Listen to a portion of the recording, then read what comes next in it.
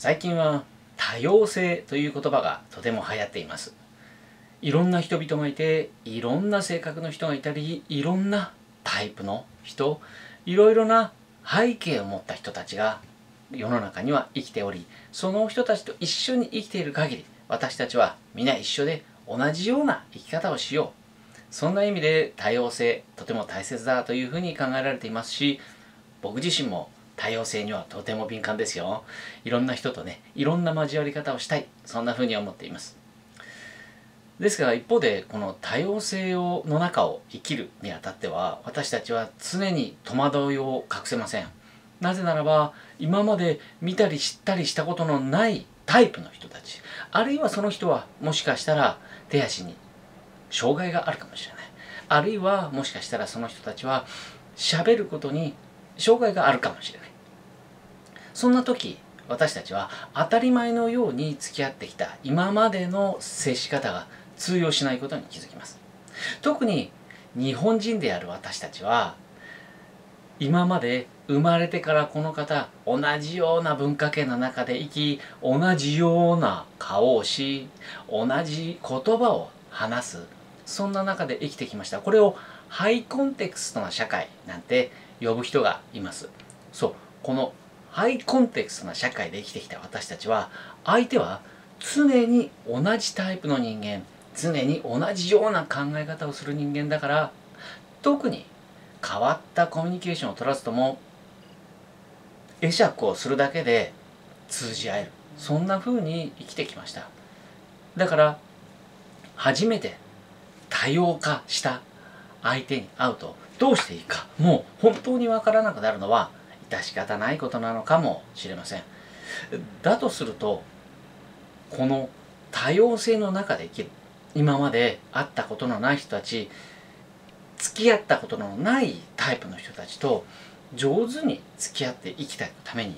どうしたらいいんだろうって悩んでしまいます。私たちはずっとハイコンテクストの社会の中で生きていました。それがもし足かせになっているんだとしたらこれからは私たちは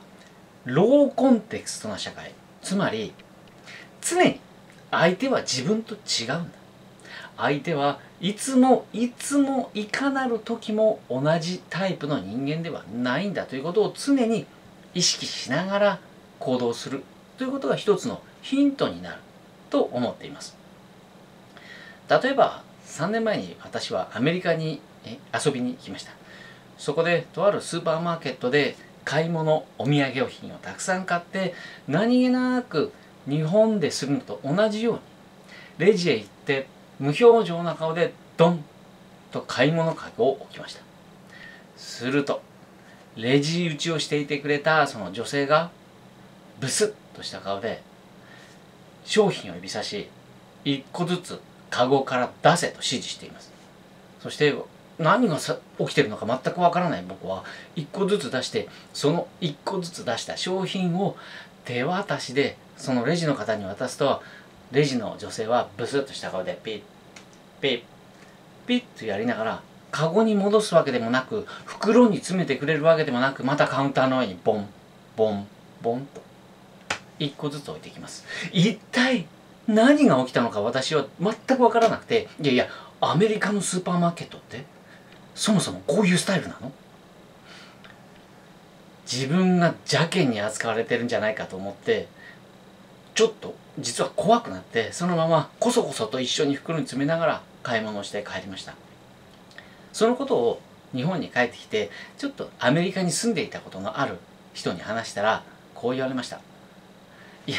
そんなことないですよ。アメリカでも普通に袋には詰めてくれるし丁寧に出してやってくれますよって。多分ね高田さんその時無表情でドンってカゴを置いたでしょ。それが良くなかったんだと思う。まずはレジの女性と顔を合わせてせめて会釈してはいそんな一言でも交わしていればそんなことにはならなかったと思う。マジっすかって思いました。日本じゃありえないですよね。なんで買い物するのにレジの人に愛想使わなきゃいけないんですかって思っちゃいますよね。でもそれは僕たちが当たり前のようにあなたと私は同じ人間ですと。ハイコンテクストの中で生きているからこそ通じるコミュニケーションなのかもしれません。ローコンテクストの社会で生きている。そんな人たちは常に私はあなたの敵ではありません。私は笑顔を持ってあなたに接しますということを自己表示し続けないとどうもいけないのかもしれないなってその後思いました。だとするとこの多様性の中で生きていく私たちにとって必要なことそれはいつも相手は私と違うんだということをまず意識していいということだと思うんです。まず違うんだを受け止めた上でその違うんだからじゃあ違う以上は仲良くしましょうね。といった態度を自分から示すことが必要。多様性な中を生きるからといってあなたと私は見た目は違うけど同じ人間だよねといった近づき方をすればいつもと同じような態度をしていつもと同じようにその違う人と接する。こうなれば問題が起きる。それは当然ですよね。だからまずは違うんだを意識することローコンテクストなんだということを知ること。そしてその相手に対して私はあなたと違うかもしれないけれど私はあなたの友達です。まずその態度を示すこと。そこから始まると思います。多様性の中で生きるということこれからは避けて通れないしとても大切なことだとしたらまずは最初にやるべきこと。それは私たちはどんな相手であれまずは違い違うということを知り違うでも友達だよ仲良くしようねを忘れないようにして生きていくということが大切だというふうに思います。違いを意識することこそ一緒に楽しく生きていく秘訣なんですね。